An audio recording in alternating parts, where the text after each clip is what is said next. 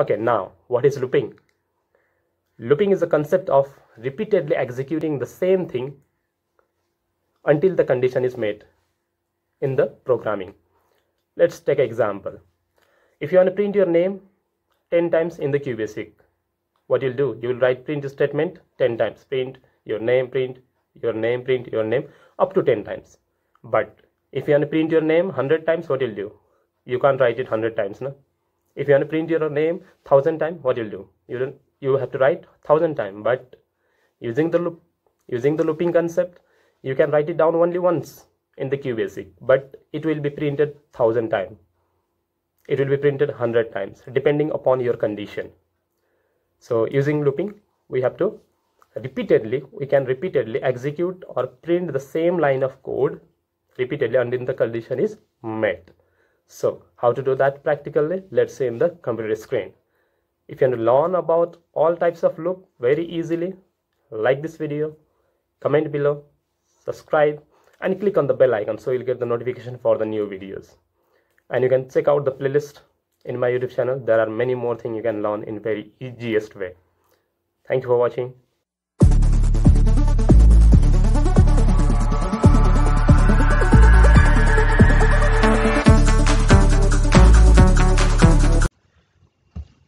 we are here in the laptop screen now. As you can see here the program name is program to print all natural numbers from 1 to 5 we have to print numbers from 1 to 5 using for loop.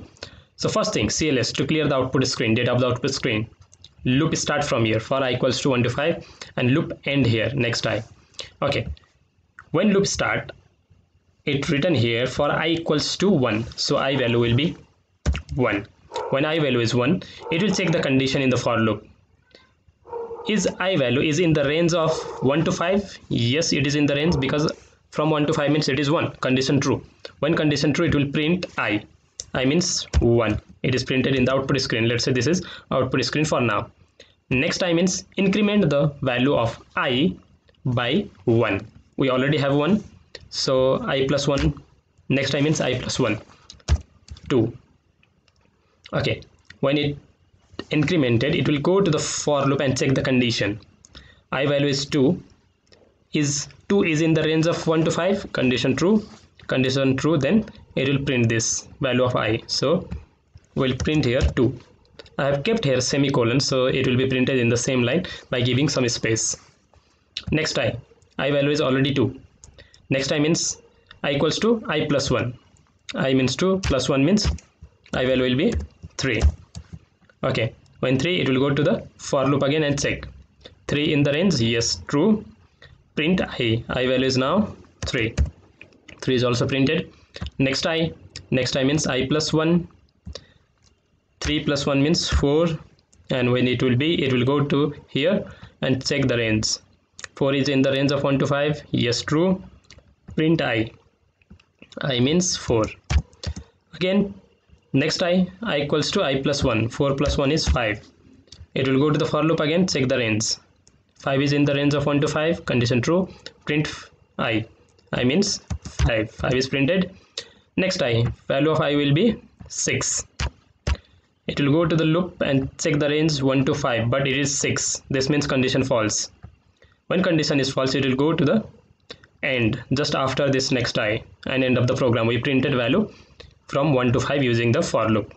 But if you want to print 1 to 10 what you will do? You will do here 10 if you want to print 1 to 15 you will write here 15 if you want to print 1 to 100 you can write 1000 you can write it here. So in the same way it works. For now we are printing 5 okay next you can see. Rem to clear uh, comment used to write the comment in the program like program name or any message you can write. Cls is to clear the out data of the output screen for i equals to 1 to 10 this is starting of loop and it will check the condition here only. And after that print i this is the body of for loop. Inside for and between this for and next i whatever we return here is body of the loop it will be printed. Next i means end of the for loop. Next i means i equals to i plus 1 end means end of the program. So let's write the program in QBasic and let's see how it work or whether it's working or not I have written here. And it is printing value from 1 to 5 okay now if you want to print 1 to 20 then I will write here 20 and run the program again. And in the same way it works. Okay you can see here 1 to 20 we have kept here semicolon. That's why it is printing in the same line by giving some space. Now using the for loop if you want to print all the even numbers from 1 to 20 so what we'll do? We're not going to start with 1 we'll start with 2 and up to which 20 and then after that we need to write here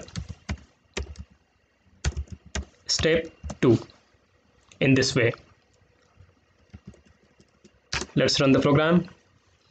Step 2 means changing the value of this next i. Next i means default i plus 1 if I write here step 2 then i equals to i plus 2 i value will be 2 first time and then it will print 2 next time means i equals to i plus 2 because we have written here step 2 so this is how it works so we have printed all the values from 1 to 20 all even values. If you want to print odd we'll do only one thing we'll change this one because odd number is 1 and 1 plus 2 will be 3 5 so in this way we can print odd numbers. If you want to print table of 3 you can keep here 3 and as step 3 and then you can print. First time 3 second time 3 plus 3 is 6 and then 9 18 in this way you can print that. If you understand the concept if you have a confusion you can comment below. If you understand click on the like button click on the subscribe button and share with your friends. Have a good day. And see you in the next video